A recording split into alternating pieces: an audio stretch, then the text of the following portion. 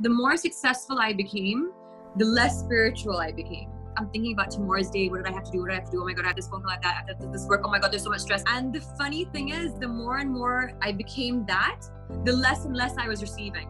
You can live your life and you can achieve your goals and you can do everything that you want and you'll go through your ups and downs.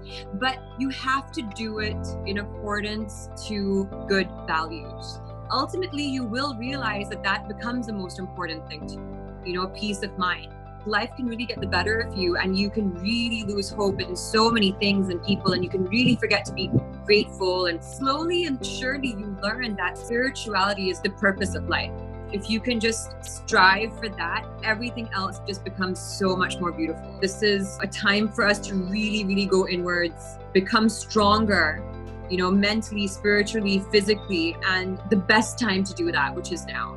It's not easy to always choose the right thing and the good thing, but fight it and you will really reap the benefits of it.